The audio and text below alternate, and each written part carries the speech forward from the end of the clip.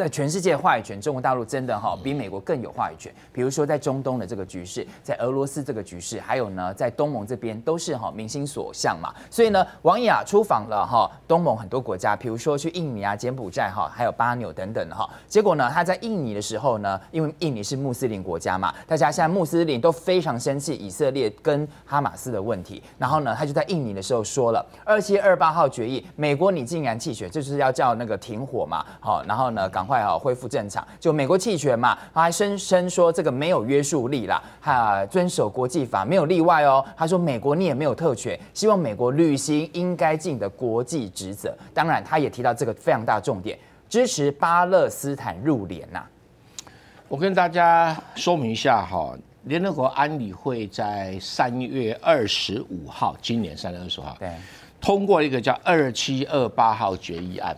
这决议案里面呢有几个要求，第一个，加沙走廊立即停火，对，嗯，第二个，要实现长期而且可持续的停火，你不要给我短暂停火，没错，要长期而且持续的停火。然后总共有十四个安全理事会的理事投票通过赞成，有一票弃权。弃权的意思就是说，你们决定我接受，叫弃权。好，那好，那王毅在就是美国弃权，印对美国弃权。那王毅在印尼的时候，印度尼西亚的时候，就不客气讲啊，联合国安理会的决议是有约束力，注意到有约束力的。好，第二个就是这个决议本身，你美国弃权表示你同意的。啊，要不然你可以投否决权就不会过了嘛，啊，因为你在安理会本来就有否决权嘛，对哈。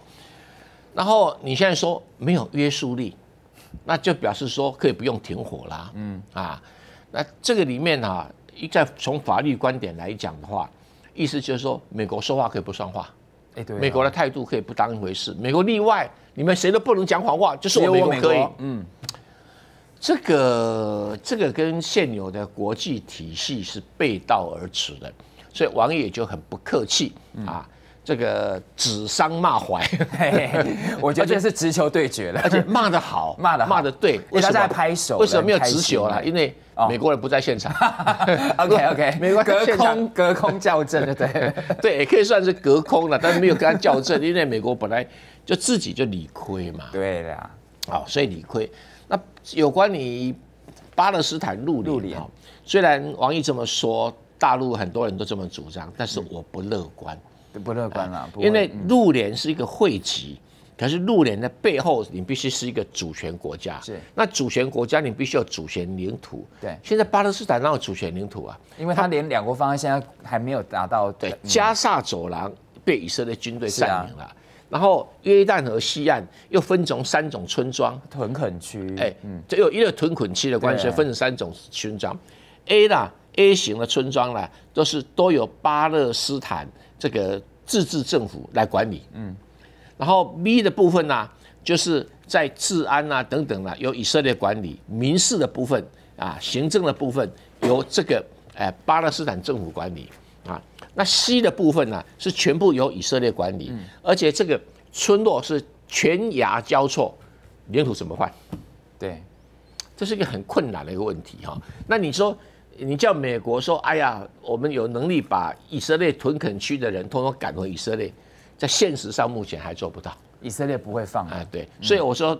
两国方案的困难重重，原因也在这里。是，但是呢，中国大陆为什么一直要提这个两国方案？因为你不提的话，那就等于只有一国方案了，就只有以色列能够建国。那难道巴勒斯坦人不能建国吗？我们都知道，在这个国际的情势之下，两国方案真的很难很难。不过就是一定要鼓吹，要希望赶快达成两国方案，所以中国大陆才是大国该有的样子嘛。因为美国不敢嘴巴力挺两国方案，因为以色列就是不不要嘛。好，中国大陆哈真的是跟你美国哈有。有讲了，说这些东西哈，都是跟你美国哈立场不一样。我最近试了一个东西，真的很有用啊，所以要分享给大家，那就是太阳星全效克菲尔益生菌。哦，吃了两三天，真的有明显的感觉。最主要就是睡眠的品质变好喽。那你知道这个睡得好呢，整个人工作就可以更加的专注，当然情绪也就变得更好了。因为太阳。星全效克菲尔益生菌，我才认识了这个克菲尔益生菌。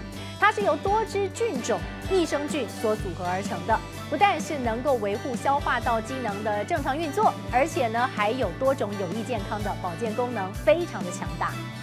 有台大教授专门研究它，把它叫做神仙的礼物。而您知道吗？有上千篇国际研究证实，克菲尔益生菌不仅是帮助肠道健康，肠道菌透过肠脑轴影响全身的器官，所以维持肠道菌种的平衡，这是解锁身体健康、精神健康的钥匙。对于帮助睡眠、维持好情绪，真的是很有感。也因为这不是药，有季节敏感、代谢困扰、关心恶性细胞风险的好朋友们，选择太阳星全效克菲尔益生菌，做好日常的保养，身体轻轻松松，没有负担。每日克菲尔，时刻美好，Good feel feel good，请上快点购为健康下单，也记得输入推荐码，有额外的折扣哦。